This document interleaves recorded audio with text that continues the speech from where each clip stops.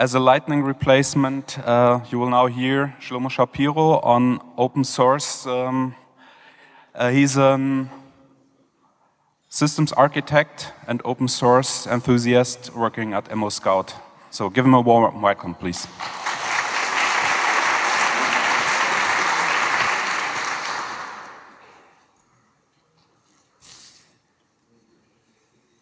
Oh, sorry. Oh fix the screen mirroring. Uh,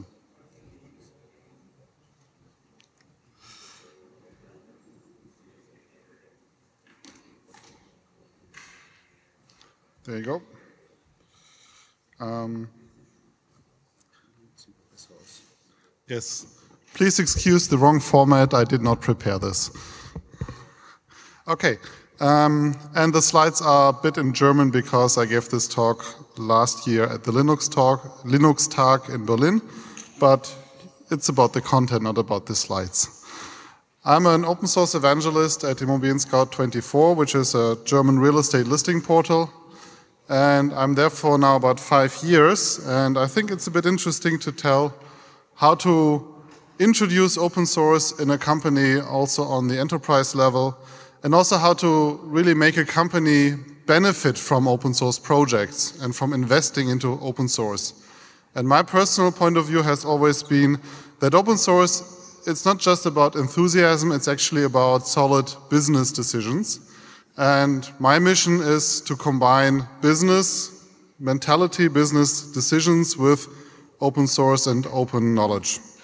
A few words about Immobilien Scout. We have two data centers, about 1,600 virtual machines.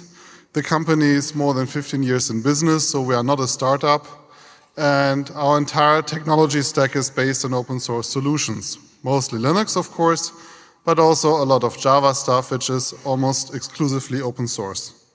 We have a lot of people. There are about 200 people working in IT in 30 cross-functional teams. So we have a lot of changes going on and we are actually big enough that we have internal open source projects, which is also an interesting thing how to take open source methodology into your company to get things done internally.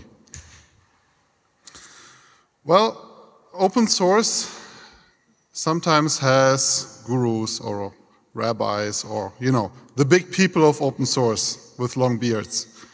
But in truth, open source is a lot about money. And if you look at the open source companies today, a lot of them are actually about money. For example, Red Hat.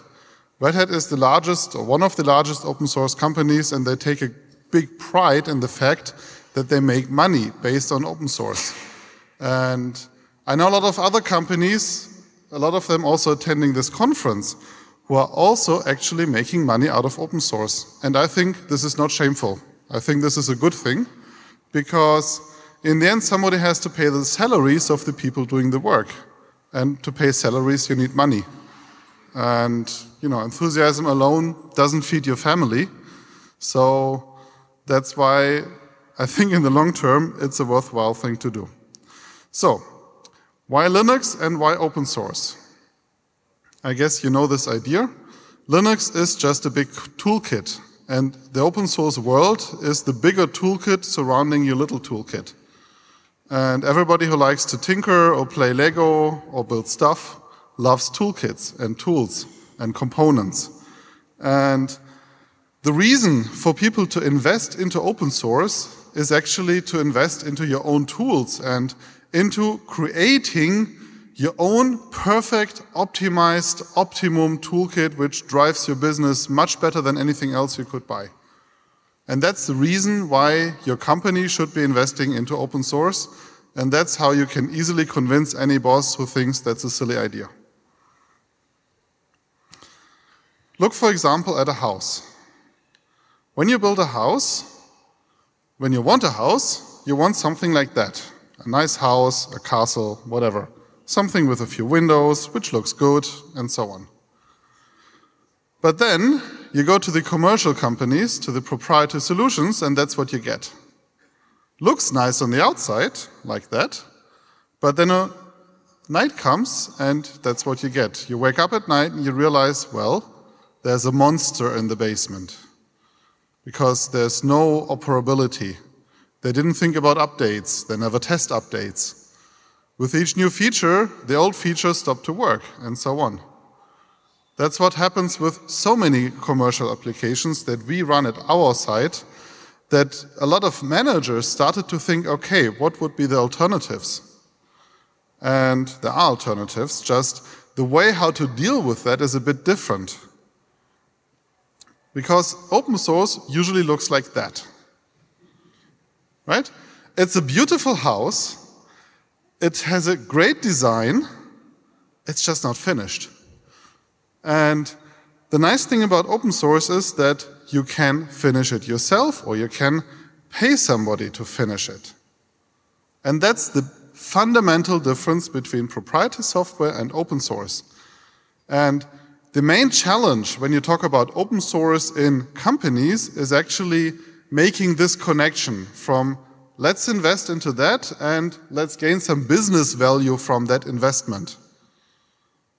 And that's the biggest challenge because there are no, there are no like, you know, huge companies like Oracle who will send you sales droids en masse and be happy to take your millions of dollars or euros they're just individual people there, and you have to deal with them. And that's something which takes work, and it pays to understand how the open source system works really differently than the commercial software system. We've done this many times, and we also try to talk with commercial vendors, for example, Red Hat, about turning bugs into features or not seeing bugs as features. Because what happens a lot is that we submit a bug request and they say, well, that's a feature. And if you look at the Red Hat bug tracker, you see a few of our bug requests, which, well, they are features. so the thing is, how do you get a commercial company, a commercial partner, to take you serious? And the sad truth is, only with money, and the even more sad truth is, with much more money than you could ever dream about paying. Just to give you a few figures, I know from personal experience that Linux distributions start to build customer solutions, meaning stuff which the customer actually needs, only after you are ready to put up several million euro per year. So if you're big enough to pay that much, then you can use proprietary software and adjust it to your own needs. If your budget is not that large, then you better look into open source sponsoring. And why is that interesting? Because open source sponsoring means you pay money into your own organization. You give money away to other people, but you actually invest into your own organization. And the reason is that with open source, you invest into knowledge and into features, and you don't invest into property of licenses or into having some license paper which you can paste on the wall. So any euro you spend on open source sponsoring goes either into consulting or into fixing errors. By the way, there are two types of open source companies. One, they sell you an open source core, which is nice and useless. And then they take license fees for the extra features. And the others, they give you everything for free and they take money for consulting and for fixing problems. I personally prefer the latter one because there I don't feel so much pressured into buying their add-on products. But I can also understand the companies who choose to refinance the open source development through selling licenses. A famous example for that model, by the way, is OPSI, an open source deployment and uh, automation tool for Windows desktops. It has an open source core, it has commercial add-on features, and as soon as they refinance the development of these commercial add-on features, they turn them into open source. So, I mentioned it, people. Here, a lot of people. This is an open source conference at least partially, and it's all about people. And the main thing which you need to understand when dealing with open source is you're dealing not with projects, you're not dealing with companies, you're dealing with individual people. And individual people are individual and they need individual treatment. And you have to really understand the people behind the projects if you want to interact with them or if you want to influence how the project will be developed. And as soon as you manage to have somebody in your company who sees it as their job to deal with the people doing open source, that's the moment you will be successful as a company in utilizing open source towards your own ends. So, what do you have to deal with? Mailing lists. Avoid the flame wars, they're just a waste of time. A much bigger problem is some of the people doing open source actually do it really just for fun. Hobbyists. And that's actually a really tough problem for people like me because I've had it already. There's a great project which I would like to use and which just lacks, you know, this little tiny bit of polishing or extra feature or whatever. I write an email to this person and I don't get a reply. I write more emails, eventually I get a reply, and the reply is, I'm not interested. Like here, I'm waiving money, but the people are not interested. And that's a big problem. It sounds crazy, maybe, but it exists. And then, if that happens, you are a little bit out of options because then you can't use the main competence on that project, the author. You have to find somebody else, internally or externally. You can take a freelancer, ask them to work on the code, and so on. It makes it a bit more difficult. But thanks to open source, you can actually do that. Because you can take the code, you can fork the project, you can take a freelancer, put him on it, pay some money, get the thing solved. And if you're a business, what you care about is solving problems through money. That's the core of all business decisions. And with open source, that works quite well, especially if you have open source orientated companies. And I want to show you a few examples of successful corporations, which we as Immobilien Scout had been doing recently, just to show you that it is possible to find open source projects which are really good, really important, which are backed by individuals or by companies who are also willing to work with us as a company and to support their product exactly as we need it. One thing you have to care about is the legally stuff and the legal pitfalls. Because especially in Germany, there are different kind of contracts which you can make. And depending on the type of contract, you pay either for the time of the person or you pay for the actual artifact being produced. And when you pay for the artifact being produced, then there's a big pitfall of warranty. And that's why many open source developers, they don't want to be paid for a feature, they want to be paid for time. And as a company, you then have to go with them and say, okay, I'll pay you two days worth of development for doing support. You know, on the contract, you write support. And then you actually ask them to write a feature, and then it's all okay from the legal side. And I also was doing this a lot as a consultant, and I always told my customers, I'm supporting you, and as part of that support, there will be magically a new release of my product on GitHub, which you can then download following the you know, disclaimers in the GPL so that there's no personal warranty involved. It's a bit Germany legal stuff, you have to know about it. Then, of course, your boss will be afraid. People are afraid. People are afraid of the unknown. And how, how do you overcome fear? You make a small step. Let's say you find a small project where you can take 100 euro or 500 euro and get a big improvement. Something simple. Hey, there's no spec file or no Debian directory for packaging. You pay the developer 100 euro, he'll add one. To make a first step to show your boss that, okay, we paid money, we got a result, worked out well, was great. And then you go from small steps to bigger steps.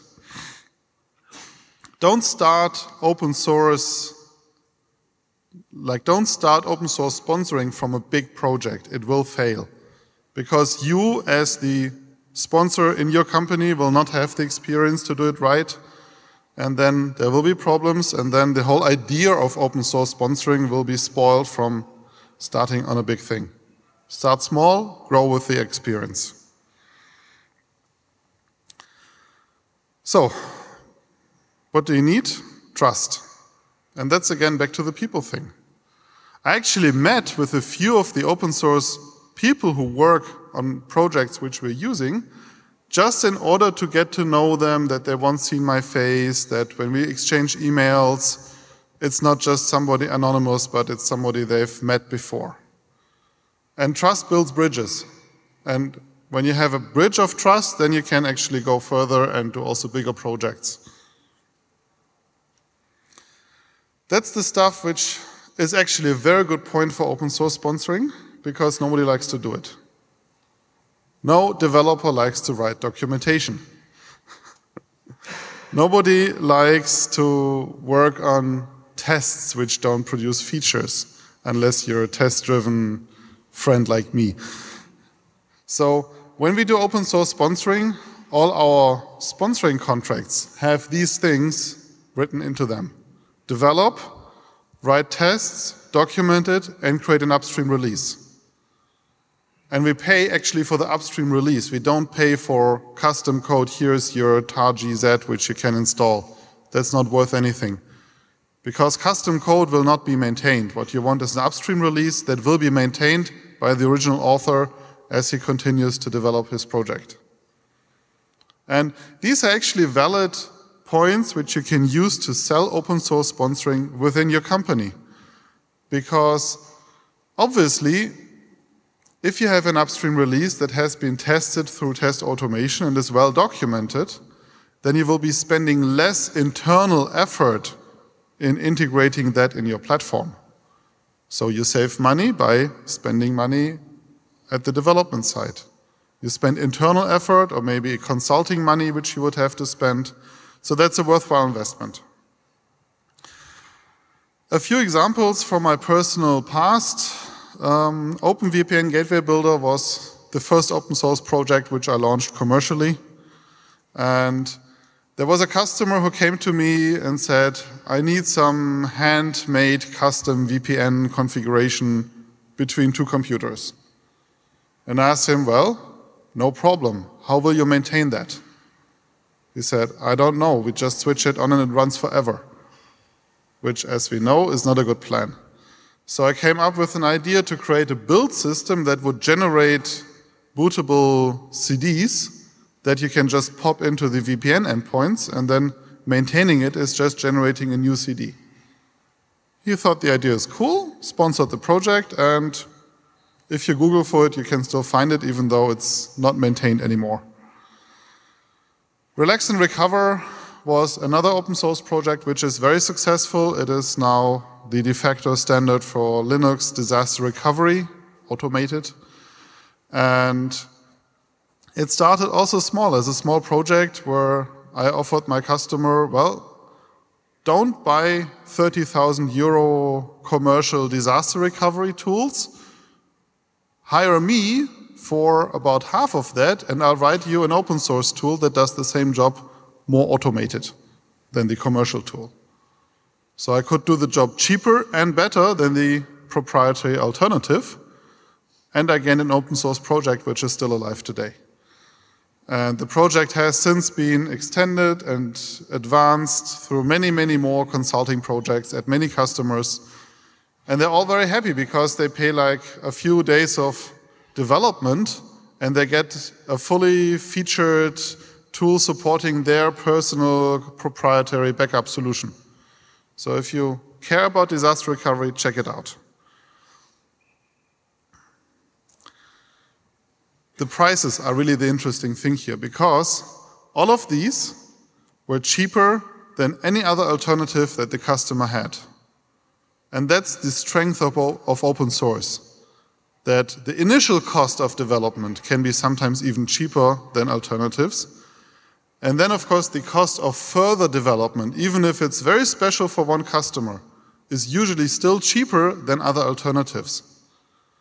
And the way how to market that to a customer or to your boss if you're working in a company is basically the trick which you need to do to get open source sponsoring on the road. A few things we've done at Immobilien Scout. Icinga, probably everybody knows. Hands up, who knows Icinga? Okay. Well, it's a clone of Nagios, the standard monitoring tool. Icinga has been forked already several years ago and is maintained by many people around the world. But a German company holds a significant part of Icinga developers, which made it really convenient for us because we could just talk to that German company called Netways, some people know them, and ask them to implement a few features, to fix a few bugs. For example, reloading the service took ages, so we paid them some money and they redesigned the reloading code internally, and then it's now done in a few minutes. Or Subversion, probably everybody knows. Again, there's a company actually here in Berlin who hold a couple of Subversion developers. They also hold a yearly Subversion conference here in Berlin. And we had a few compatibility problems with Subversion 1.7. So we asked them to fix it. They fixed it. It cost us a thousand euro, and everybody was happy. And that actually was a major blocker in rolling out Subversion 1.7. And we could have spent days and days internally to try to get over that, but it was much cheaper for us to hire that company to fix the code upstream and create an upstream release than to deal with it ourselves. And another example is X2Go. X2Go is a Linux terminal server solution which allows you to create a terminal server and then access that through various clients running on Linux, Windows, and Mac OS. And we're using that in our data center to create a Bastion host. So you have to first go on this Bastion host, and then you can work on all the platform. And again, a cool product developed by a lot of people around the globe, three developers in Germany, and they're doing little fixing, little bug improvements, little features for us already for several years because we're using that on a daily basis. And it's great if we can spend a little bit money and fix our big problems, which make this thing work much better. We also have our own open source projects. Our biggest open source project is YADT, an augmented deployment tool. It's our deployment chain, which is completely open sourced and it manages everything in our data center, how we roll out software, how we do configuration management. It's package based, so it's a little bit different from what you maybe know from other tools. And why did we do that? Because as a company, we learned that open source pays. As a company, we learned that investing into open source pays and that sharing what you're doing is actually a benefit because you get feedback, you get patches, you get bug reports, and that's a way how you can simply extend your internal development force with external help. And of course, reviews and code reviews and questions and so on. So yes, if you manage to establish open source in a company, then the next step is to start internal open source projects and to take your own code and show it to the world and be part of the open source community.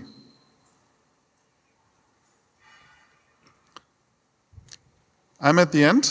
I hope.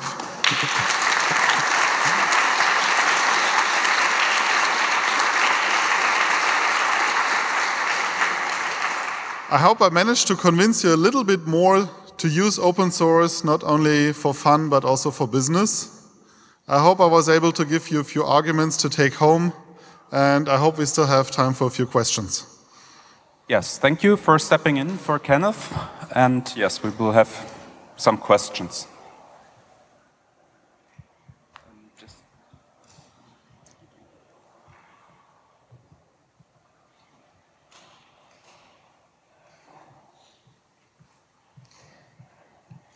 Thanks for the talk. So, uh, as a developer, how would you try to fit some kind of custom requirement from a, from a customer in the, your open source project if it's not really what it was designed for? Well, this is a good question. If you look at Relax and Recover, this project has been faced with that question many times. Mm. And our philosophy is anything that doesn't harm other people is most welcome. Okay. And the code is highly modularized so that it's really easy to implement something which will be run only in a very specific scenario. So we say, please write it so that other people don't suffer from your peculiarities, and then you're welcome to put your code into our project so that when you deploy our software in your environment, you get out of the box a working solution and don't have to extend it with some local stuff. Okay, nice. Uh, another question. If you are paying instead um, a developer who's not the author to work on a project, how do you still kind of try to make it go upstream if the original author is not interested in your in the patch that your guy is doing? Well, we actually uh, in the contracts we pay for upstream releases. Mm. So in some cases we split the contract into the functional part and into an extra added money for getting an upstream release so that we really pay for the work of the communication with the author and of convincing the author to accept this code. Okay. Because that is actually work. Yeah. All right.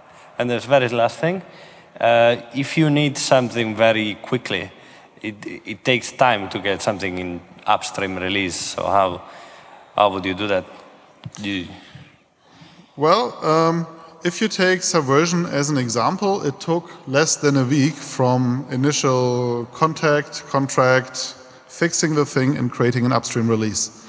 But yes, the people working at this company, uh, can I have my slides back, please? The uh, people working there actually are part of the core team, so they can just create a release if they want. Initially, they told us, oh, we have to talk with all the team and all the project has to agree that we make a release. In the end, it was no big deal. Okay. Yeah, thank you. Okay, we have to finish, and there's a general announcement following. Thanks a lot.